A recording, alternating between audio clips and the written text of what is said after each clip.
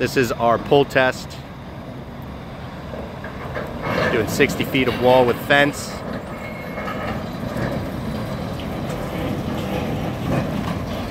As you can see, we're just using a Chevy 1500.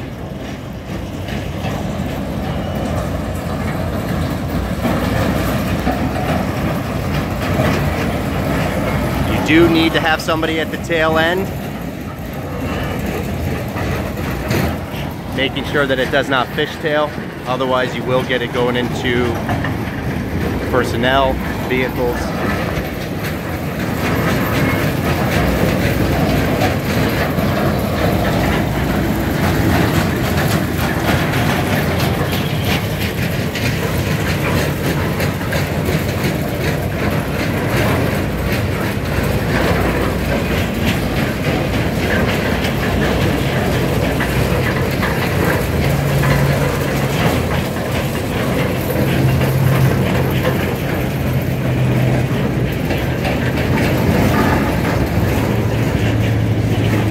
We're coming up on a 90 degree turn.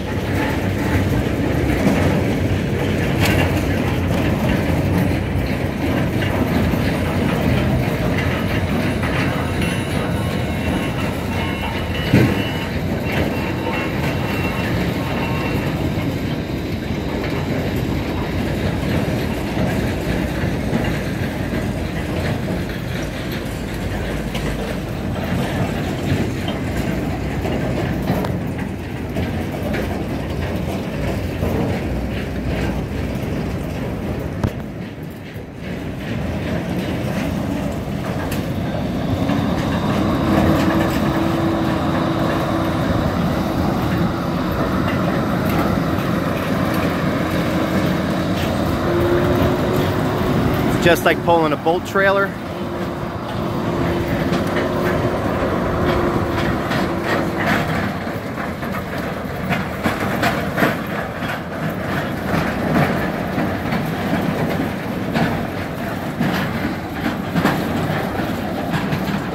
All right, we've made the 90 degree turn. All right, now two people are gonna unattach it from the truck and lower the wall.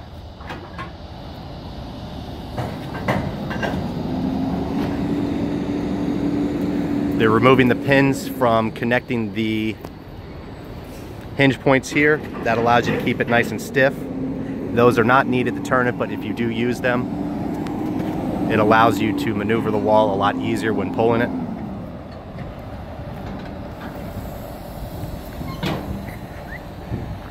Within seconds, it's unattached from the truck.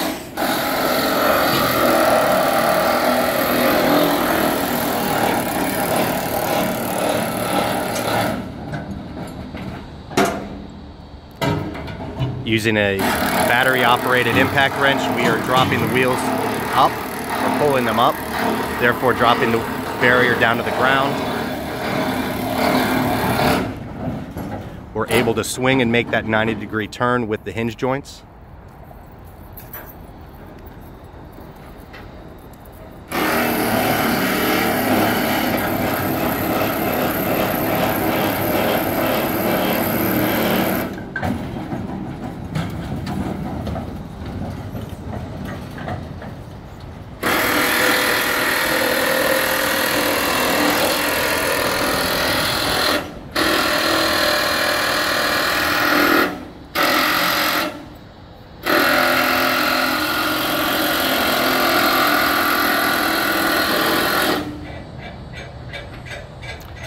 Once all the center joints are down and we have the arms swung around, the arms can be raised up as well so that the wall is lower to the ground.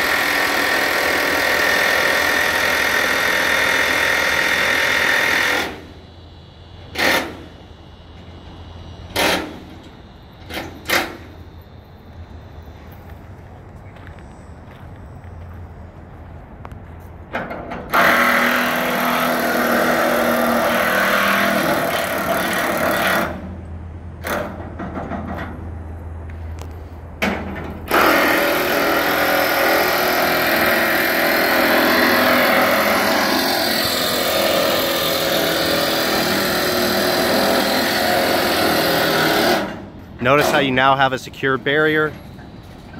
It's been relocated. You can see that being pushed on. It's not going anywhere. This is ideal for crowd control situations that you know are going to be hostile. These barriers will not be picked up and used as weapons.